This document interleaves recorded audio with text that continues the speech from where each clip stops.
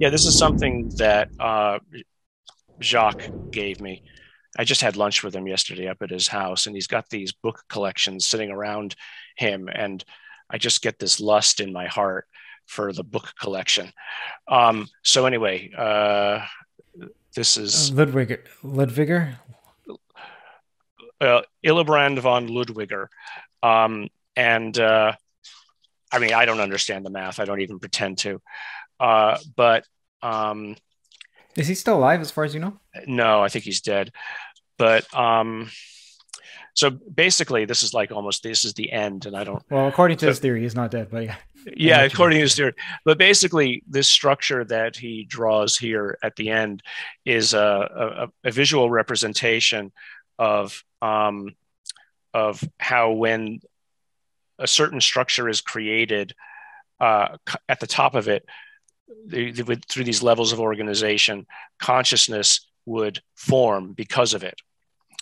Um, and uh, that then you could take away the underlying structure uh, mm, okay. that for, formed it, and then this would continue to exist. Okay. In, independently. Um, which is interesting. The reason why I like this, and I, he didn't really talk about this, he talks about it in the context of um, of uh, of biology. But if it's right, it means you could create an artificial intelligence, which was in and of itself um, would could become conscious. You know, most um, you know scientists working in AI never think that we will have the ability to create a conscious. I mean, that anything that we create uh, that looks conscious is just a, a, a darn good simulation of of uh, you know it would pass the Turing test, but it would just be a, a darn good simulation. Uh, but it's not really conscious. Um, so you know it. So therefore, it has no rights as far human rights, as far as where you know it's a big argument that's been played out in science fiction for for many years. What this guy is basically saying and I don't know anything about the math. I just find it interesting. I get interested in these kinds of ideas. Yes, yeah, yeah. That you could create an object. Humans might someday be able to, without using biology, but using purely materialistic uh, approaches, build a sufficiently complex machine that creates an object with consciousness and a soul.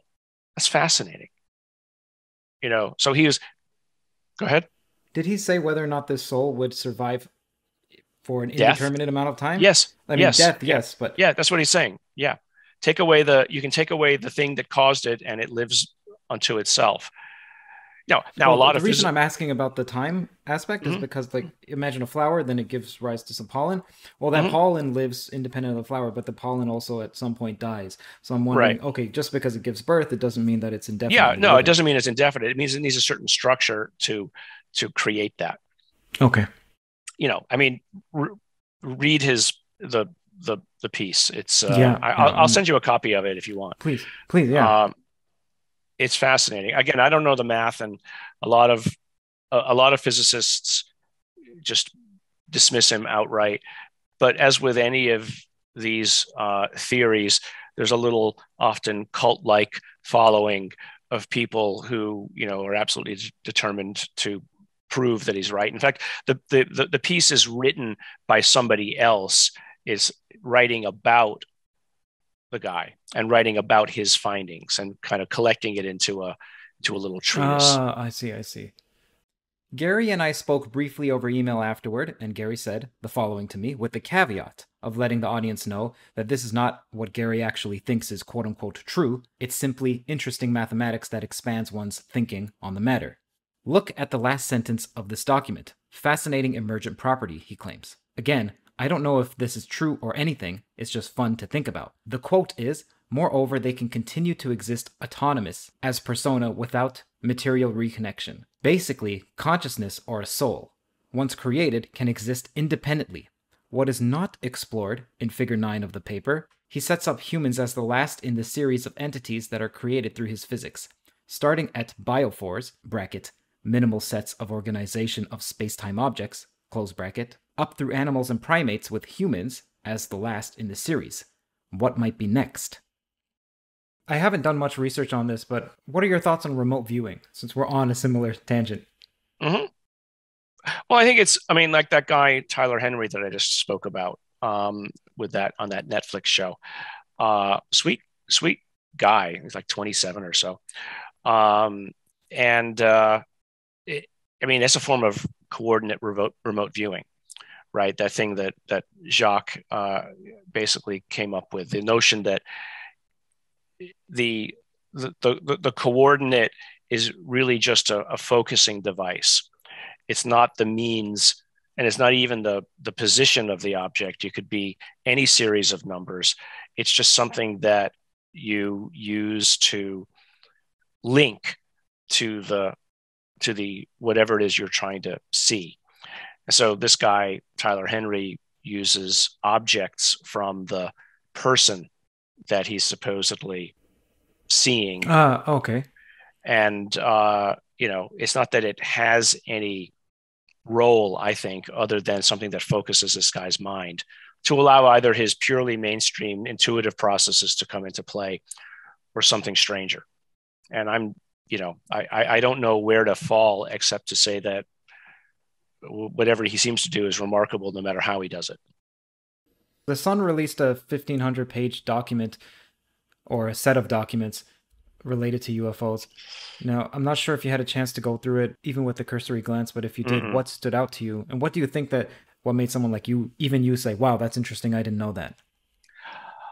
Um, well, some of the cases that Kit was talking about, most of what was in there that the Sun uh, focused on. I haven't read the 1500 pages. I, you know, um, my students would probably kill me if I spent my time reading 1500 pages of somebody else's stuff rather than the papers I should be editing.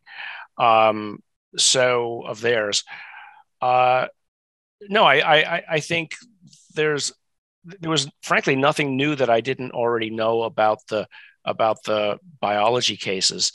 Uh, because I've been talking with Kit about it for the last 10 years. So I guess there's nothing really I can say about it. I, am sorry.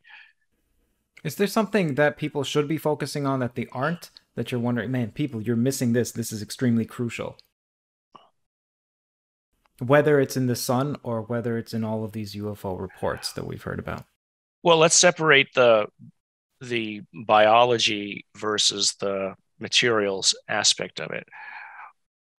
What's what's missing is a focus on well, I say this many times the the, the data collection. Um, you know, bringing to bear real science efforts at doing it and and pointing out how little funding is going into it. It's being done on a you know literally out of people's pockets. So the focus needs to be on talking to friends, family, you know, uh, political representatives, et cetera, to say, would you please fund this and help us understand it? Because the questions aren't going away. So, you know, fund either the biology studies or fund the, you know, the uh, material studies that are being done or should be done. I mean, I, have talked about the stuff that I've spent money on uh, personally myself, um, and and and my time on it. Uh, you know, it's it, to do it right. You need to bring in for the materials. You need to bring real metallurgists, instrumentation that costs in the millions. Yeah, you know, it's and you can rent this stuff. You don't have to buy it. You can rent time on somebody else's machines. Um, but then you still need people to analyze the data. So, you know, getting together, here's what I would love to see somebody set up is, you know, uh, set up a consortium of people who have statistical analysis and metallurgic analysis that if I create the data, they'll help me analyze it. And they'll do it in a in a protected data um, you know CDA, you know, somebody drives, you know, writes a, you know, confidentiality disclosure agreement so that you, you get to, you work on the data first and it, it, you know the day after you collect the data somebody doesn't go to twitter and put out some preliminary garbage or say something about the data that is you know that i as the principal investigator know is not true right because there's, there's nothing worse than than uh, a preliminary data put out that somebody else says well you said this last year now you're saying this here right so you know, I would like to see somebody make an effort to create some sort of a an analytics group that people like me could turn to to say, here, this is data, help me understand this. Because I don't have the time to do it.